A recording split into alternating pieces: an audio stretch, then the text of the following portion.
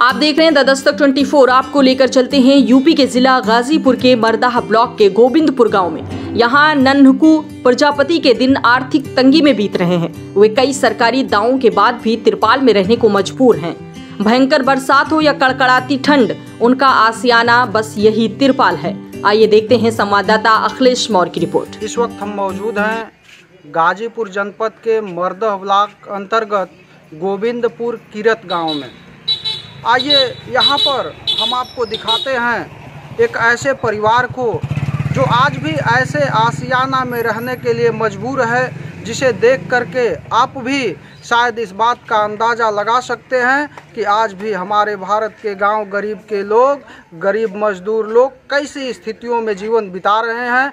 ये बिल्कुल ऐसी चीज़ें जो हम आपको दिखा रहे हैं देखने के बाद वास्तव में गरीबी की क्या स्थिति है, ये देखने को आपको मिलेगा। गरीबी का दर्द आपके दिल से भी छलकेगा। जब आप देख पाएँगे ये हम मौजूद हैं इस वक्त गोविंदपुर किरत गाँव के ननकू प्रजापति के घर पर। ननकू प्रजापति जो कुम्हार बिरादरी से पिछड़े वर्ग में आते हैं इनके आशियाने को इनका यही मकान है ननकू प्रजापति का ये हम देख पा रहे हैं। ये दरवाज़ा बनाए हुए हैं ननकू प्रजापति जी। ये यही आपका दरवाज़ा है ना? ये दरवाज़ा। हाँ ये दरवाज़ा बनाए हुए हैं जिससे कुत्ते बिल्लियाँ घर के अंदर न जाने पाए, अन्य कोई जानवर घर के अंदर न जाने पाए। और आइए देखते हैं घर की हालात कैसी है। एक छोटा सा बिल्कुल काली वाली ये प्लास्टिक हम देख पा रहे हैं, जो तिरपाल ये डाल करके और बाँस के सहारे, बाँस के सहारे इस काली वाली प्लास्टिक को लगा करके और इसी में गुजर बसर करता है ननकू प्रजापति का परिवार,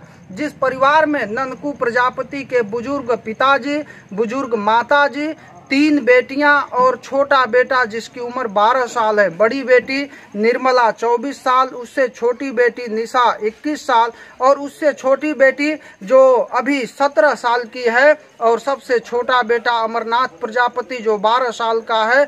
ऐसे करके यह जो है अपने पत्नी, बच्चों और माता पिता के साथ किस घर में रह पाते हैं, आइए हम दिखाते हैं आपको। ये मकान है, यहाँ पर यही बिल्कुल ये ननकू प्रजापति का चूल्हा है, यही खाना बनता है, ये उपले से और लकड़ी से। ये गोबर के उपले से और लकड़ी से ये चूल्हा है, जहाँ खाना बनता हम देख पा रहे हैं कि यहाँ खाने पीने के बर्तन सामान रखे हुए हैं। और जो इनके घर की गृहस्थी है, जो सामान है, उसे हम देख पा रहे हैं कि किस तरह से यहाँ बिल्कुल छोटा सा यह घर है। इसी में यहाँ रहने सोने की व्यवस्था है। यहाँ इनके थोड़ा सा कुछ बोरियाँ हैं जिसमें अनाज रखा गया है। और ये छोटा सा घर है, जिसमें किसी तरह से, किस तरह से यह गरीब परिवार यहाँ पर अपना जीवन बसर करता है